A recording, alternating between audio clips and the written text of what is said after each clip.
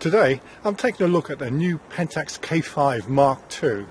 Now this promises to be an exciting camera and I've already been out with the camera taking a few pictures in the snow-filled woods and it's actually producing some really remarkable shots.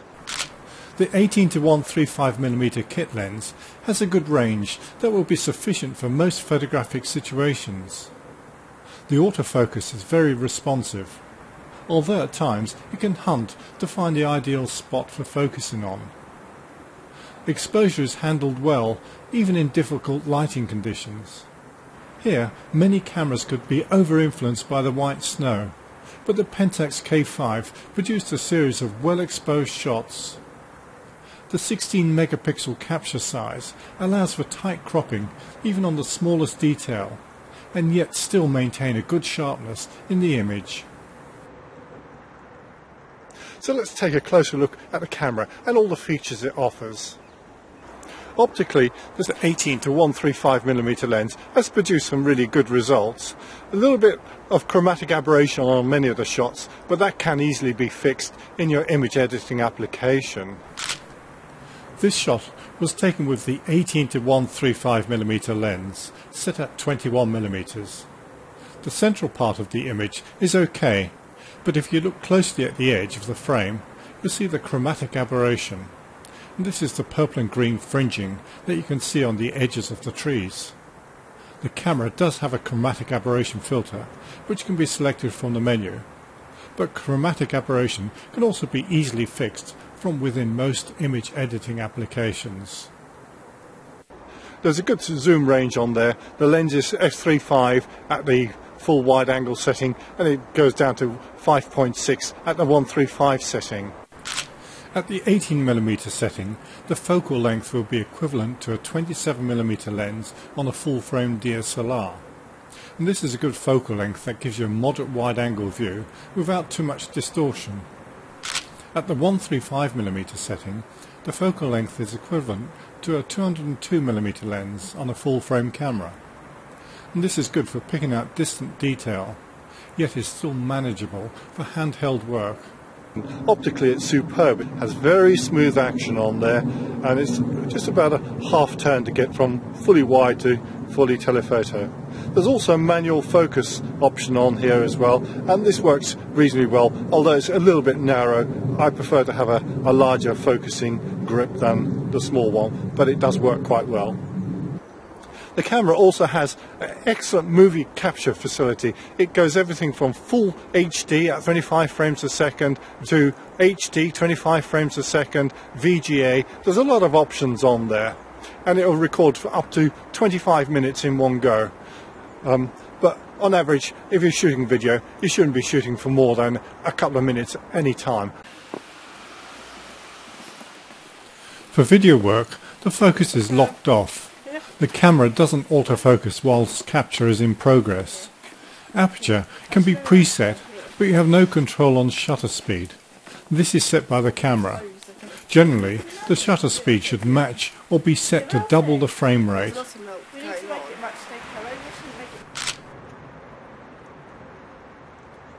The overall construction of the camera is very high. It feels very robust, solid, I'd feel quite comfortable about taking this camera in any of the extreme conditions, especially on a cold day to, like today, where many cameras may have given up. Pentax are renowned for building quality equipment, and this camera really lives up to that. It's a photographer's camera.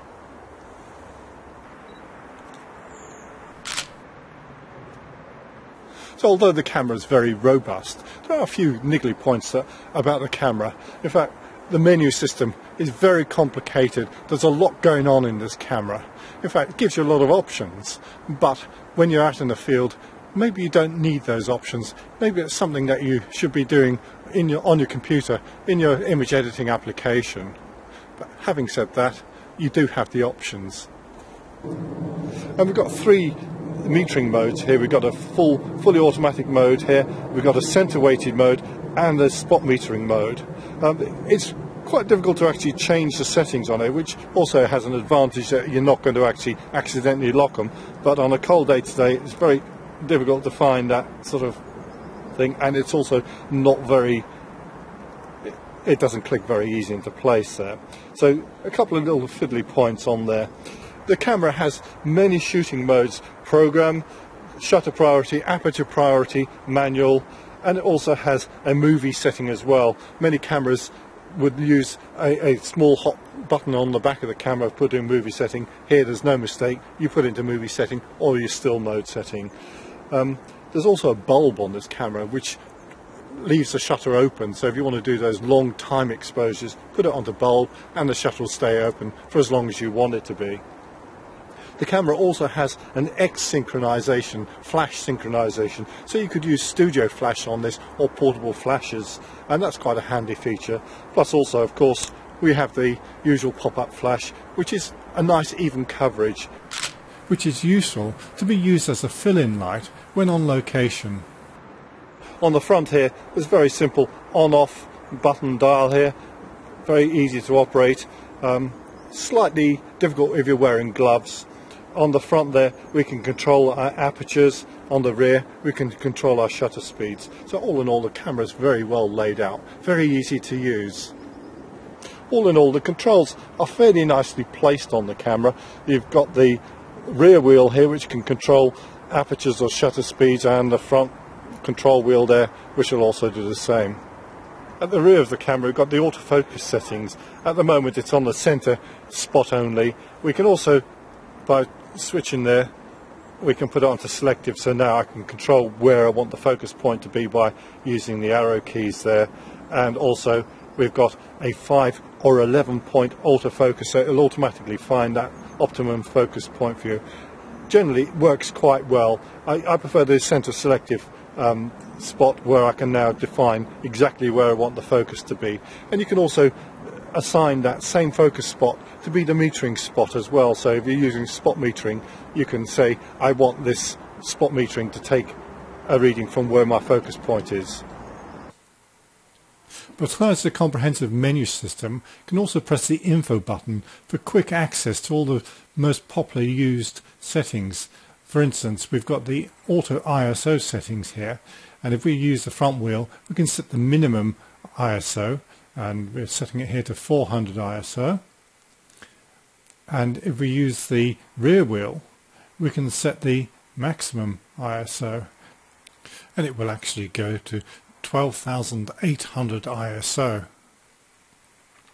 Other options are highlight processing, file formats, JPEG, also does digital negative as well and we can choose our JPEG quality. I suggest leaving it at the maximum setting of 4 stars and this will produce the biggest file so obviously you need a, a fairly large SD card. I've shot at each of the ISO values to see how usable this camera is by using the higher ISO settings. This is the master shot of Charing Cross Station. I'll be looking to see how much noise and how much usable detail there is under the bridge. At ISO 100 the image is as expected, very clean and this will be a great value to use on a bright sunny day. At ISO 200 there isn't a great deal of difference in noise and you could safely use this for most shooting scenarios and on bright but slightly overcast days. At ISO 400 the image is still very clean. This would be a good setting to use for dull overcast days or with flash. At ISO 800 we are starting to see a small amount of noise, but nothing unacceptable. The ISO will be well suited for capturing fast action. At ISO 1600, the camera is starting to show some noise. This will be equivalent to seeing grain on a 400 ASA film. Photographers may like this as it does give a film-like look. This ISO setting would be great for taking photographs of a live concert or stage production. At ISO 3200 the noise is now becoming very obvious. If you're after a gritty looking shot but still want to maintain image detail then this may be a good choice. At ISO 6400 the noise is breaking up a lot of the fine detail. Use this setting if you're into news or paparazzi style photography, but don't want to use a flash. At ISO 12800 the image is very soft but has a dreamlike quality. I think this could be an ISO worth experimenting with for the creative-minded photographer. The Pentax K5 Mark II has many features and functions, including HDR in camera, raw file capture in both Pentax file format and DNG, and that's digital negative, image processing, color correction, etc., etc., etc. The camera can only accommodate a single SD card, which I feel is a limitation, especially if you want to capture both stills and video. Although I said the camera menu is complicated and there is a lot of options, if you want to find out more about the features, then there is a comprehensive 330 page well illustrated instruction manual that you can wade through. Or simply go out and take pictures and find out what the camera can do whilst you're using it.